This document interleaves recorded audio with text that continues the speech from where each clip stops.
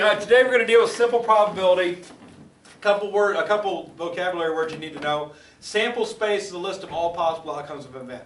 For example, flipping a coin, the sample space is heads and tails.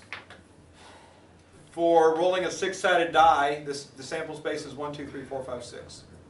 If it's the alphabet, the, the sample space is the alphabet. There's 26 members of the sample set. So every outcome possibility is in the sample set. All right? Sample space. Uh, the probability is the ratio of the number of successful outcomes, what you want to happen, over how many outcomes possible in the sample space. So flipping a coin, if you want the probability of getting heads, there's only one head out of two out possible outcomes. So 1 over 2 is the probability of getting heads on a coin flip, just one coin being flipped one time. Right? Yep. Again, this is we're still in the fifth, sixth grade level of probability right here. Okay, so let's go ahead and take a look at example one. First thing. What we're going to be doing today is going to be independent events. What that means is that what happened before has no bearing over what happens next. So when they give you information like this, a fair coin is tossed three times and comes up heads every time, that's irrelevant to the next coin flip. Just because you got heads, heads, heads, doesn't mean the next flip's going to have to be heads. It could just as well be tails. So when they tell you what already happened, just kind of ignore that information. The only important words that came out of that entire sentence are the words, a fair coin.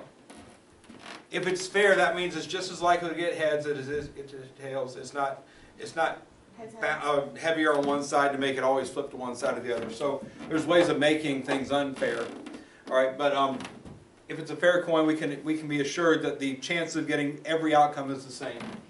So what's the probability on the next toss will come up heads? So what I'm looking for is a statement such as this. I want to see that on your paper. I want you to get accustomed to the, the probability um, notation. P heads means probability of getting heads. And all we need to know to find probability is simply how many ways are there to make what we want and how many of the ways to make anything. That's what probability is. What we want over what we can get. All right? So how many ways are there to get what we want? One, One. How many outcomes are there? two, Two. So the probability of getting heads is a half.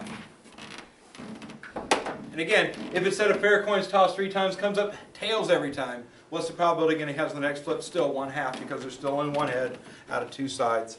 So that's the probability of getting heads.